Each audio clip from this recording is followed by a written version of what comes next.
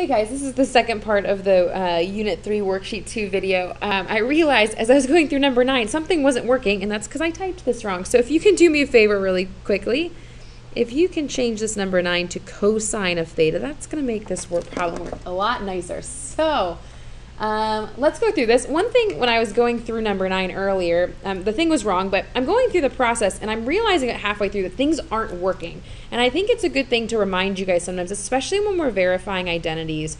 Sometimes you're going to go through and the process that you chose to go through just isn't going to work. And so sometimes rather than try to fix what you've done, it's best to step back and start over from scratch. So that's just something I want to remind you, especially with verifying.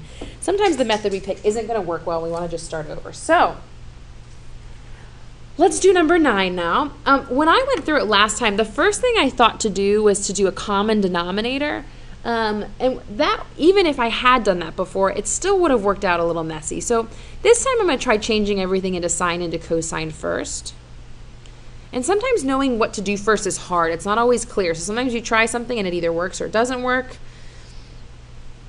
Um, tangent is the same as sine of theta over cosine theta. I'm just going to move this over here a little bit. Okay, so now I'm going to try getting a common denominator because at this point there's no Pythagorean identities. Um, I can't really factor. So I'm going to multiply this side by 1 plus sine over 1 plus sine theta. And I'm going to multiply this side by cosine theta times cosine theta. So when I do that on this side, I'm going to get a cosine squared theta over a cosine theta 1 plus sine theta plus, on this side I'm going to have a sine theta times 1 plus sine theta over a cosine theta 1 plus sine theta. Okay, well now I can combine things. As I combine in the numerator, I'm also going to distribute. So that's going to give me a, uh, when I distribute this, I'm going to get a sine theta and a sine squared theta. And then the denominator, I have my cosine theta, 1 plus sine theta. Okay. So now I want to see if I can find anything helpful. I'm noticing that I have this uh, cosine squared theta plus sine squared theta. Well, that has a value of 1, right?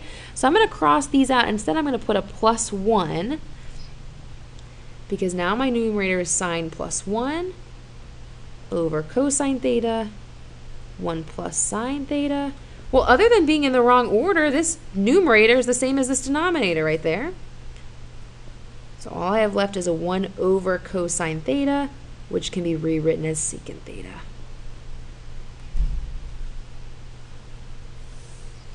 Okay, let's do one more. Again, if you feel good, see if you can do them by yourself, but we'll definitely be practicing this a lot more next class. And then we'll have our first quiz on it two classes from now. Okay, well, when I look at this, my first instinct to see if I have a Pythagorean identity, and I notice that I don't because it should be 1 plus tangent or 1 plus cosine. So let's see if we can come up with something else to do. I'm going to try turning everything into sines and cosines and seeing if that helps. So I'm going to have a 1 over, and I'm going to give myself lots of room. 1 minus sine squared theta over cosine squared theta plus 1 over 1 minus cosine squared theta over sine squared theta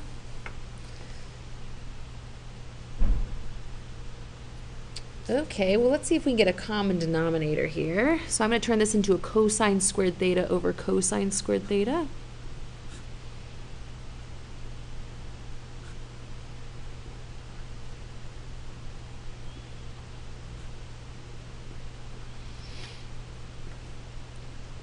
This is going to become a sine over sine.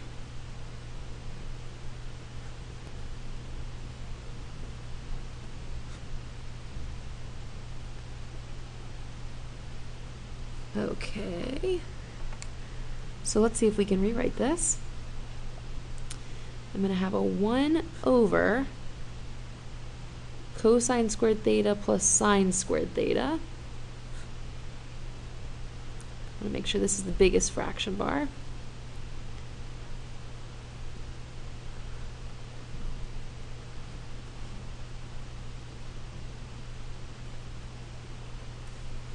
Notice I accidentally made a mistake there. That should be a minus sign.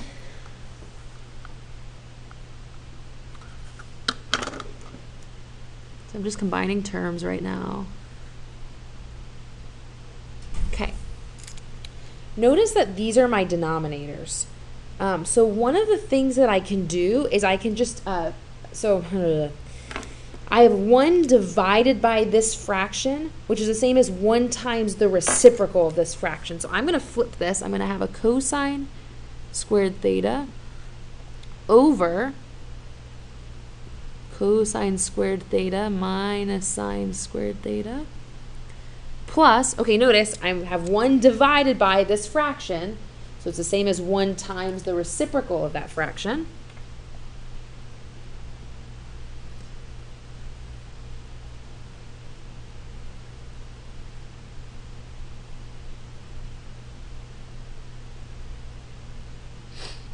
Now, while I'm doing this, I'm noticing that this denominator here, this piece here, is really, really similar to this piece here. The only difference is the positive is in the front of the sine, the negative goes with the cosine. So I'm going to factor out a negative so that I have this cos squared here is positive and this sine squared here is negative. get my sticky notes so I can keep working.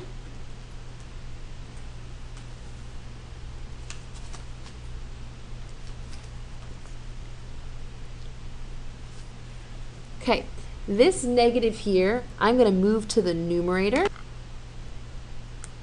So what I really have is this minus this over this. What do you notice about the numerator and the denominator? They're equal.